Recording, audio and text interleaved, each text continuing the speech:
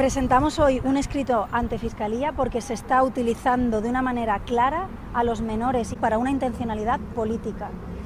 Los menores en esta sociedad tienen que estar protegidos y no se debe obligar a ninguna familia a manifestar sus ideologías políticas. Hubo una manipulación en el montaje y una selección de la información dentro de un contexto que tenía como objetivo adoctrinar a los niños, porque ustedes no cometen un error. Esto es una estrategia.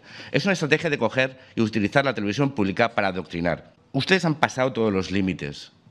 están traspasando todos los límites y han llegado hasta la infancia. No les tiembla el pulso a la hora de instrumentalizar y utilizar menores para reforzar un mensaje político que tiene como objetivo crear la falsa ilusión de la unanimidad. Y ni los niños dejan ustedes fuera de esto y es absolutamente lamentable.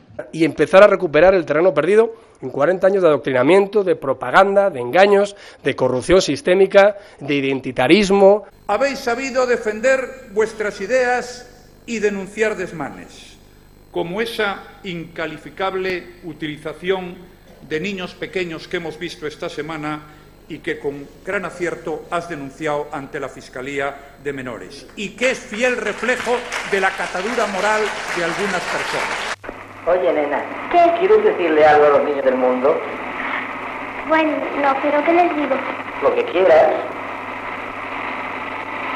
Pido a Dios que todos los niños del mundo no conozcan los sufrimientos y las tristezas que tienen los niños que aún están en poder de los enemigos de mi patria, a los que yo envío un beso fraternal.